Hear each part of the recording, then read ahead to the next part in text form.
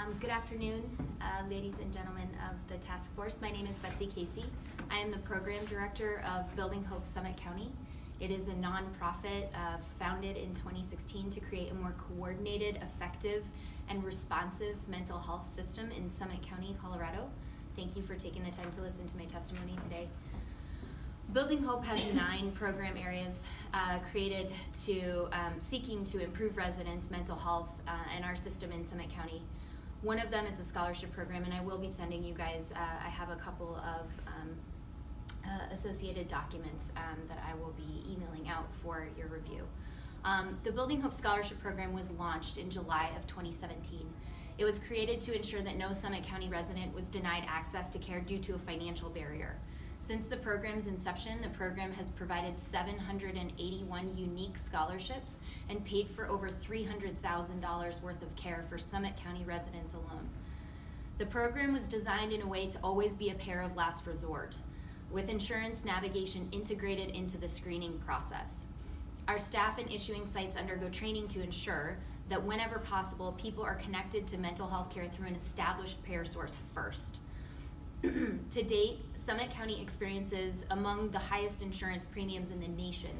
Despite having a perfectly good payer source and paying some of the highest premiums in the nation, 54% of scholarship recipients, of our Building Hope Scholarship recipients, have insurance and cannot utilize their insurance for a myriad of baffling reasons.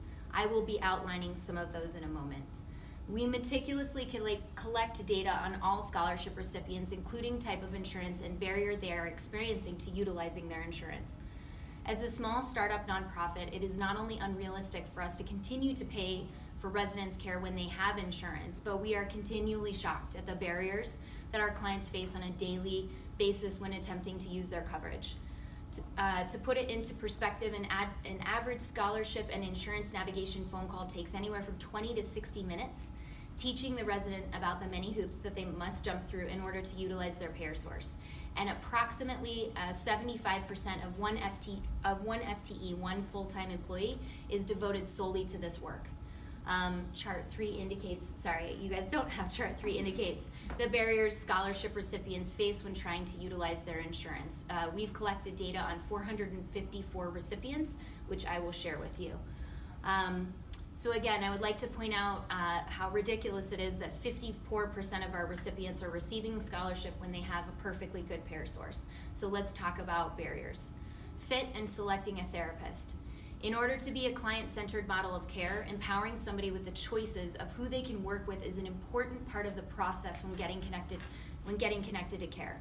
Most of our scholarship recipients have never sought mental health care. So when they finally take the brave step to select a therapist that looks like it could be a good fit and obtain the same values, it can be a really positive moment. Most of the time, we have to tell them that the provider that they've selected does not take their insurance. We tell them that they have to work with the provider that is selected for them.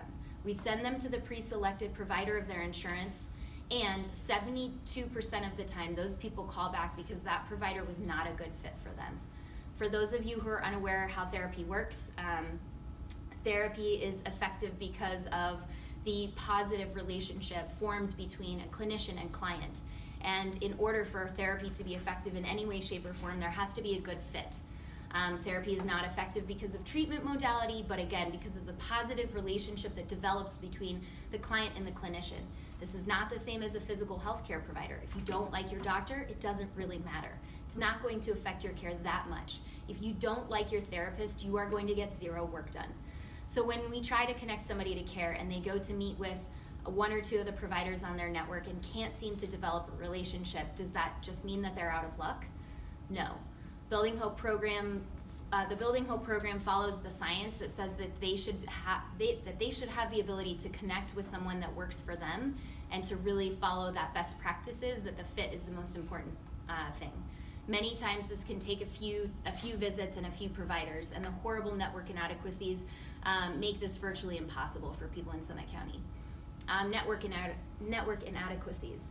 Uh, this is an, yet another barrier. 17% of providers in Summit County currently accept insurance. 17%. This number is very scary for us when we are trying to get somebody connected to care. The likelihood that those individuals currently have openings is almost zero.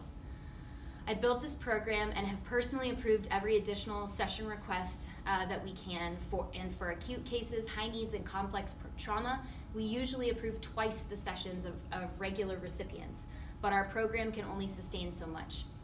I cannot tell you how many cases I have seen, like children with complex trauma, men and women struggling with addiction and using therapy to remain sober since we lack formal treatment programs up in Summit County, suicidal teens, mothers and fathers with major depressive disorder trying to get well for their families, individuals desperately needing care, all of them who have a perfectly good payer source they cannot use.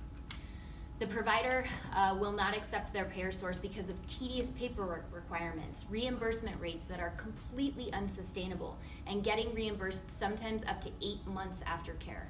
One provider was so upset wanting to support one of her families, but was stuck between either not working with this family or receiving a $35 reimbursement rate from UMR.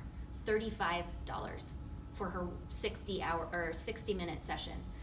Um, and that's a licensed, credentialed, uh, a licensed professional counselor.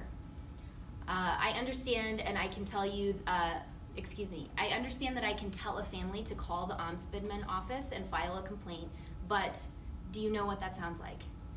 Your child is suicidal, and you can call this number and file a complaint. It is incredibly difficult to tell that to a family. I go home at night and wonder where our families are, how our residents are making it work. And I believe that you all believe in that we're here today because mental health is not a luxury. Mental health care is not a luxury. This is an absolute necessity, and I'm wondering what our friends are doing at the state level to hold insurance companies accountable and make violations like these held up in a court of law. What are we doing with insurance companies about network inadequacies? Um, it's shocking to me that they can get away with listing a provider on their panel who is deceased, dead. We actually had two providers who were actively listed who had died many of them who have moved away.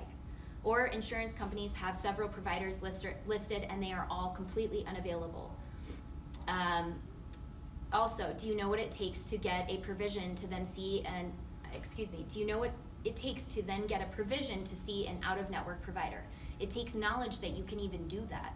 Getting on the phone, negotiating with someone from the insurance company, trying to explain yourself and explain why you could not get care with the in network provider.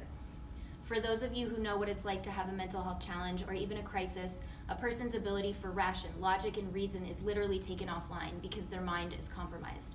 So you're asking someone to navigate a system where they have no, no previous ability to be able to do that when their brains or their mental faculties are offline. Sure, Betsy, you have about 30 seconds. Oh, great, okay. Um, essentially, I wanted to talk to you guys today a little bit about um, what we're all doing to hold insurance companies accountable and what is happening in order for those processes to happen. Um, I, Building Hope is currently in the process of looking at some innovative strategies um, to provide billing management platforms and actually use grant funded billing, uh, billing management FTE and hire that, a grant funded position to be able to get more uh, panelists credentialed.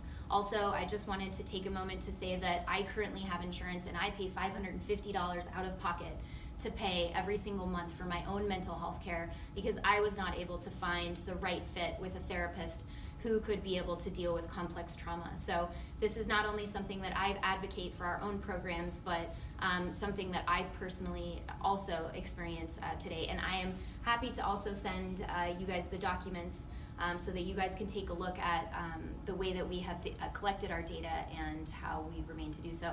I um, am very grateful for the opportunity to be able to share with you guys, and if you have any questions, um, I believe Summer has my information. Thank you for taking the time to listen to me.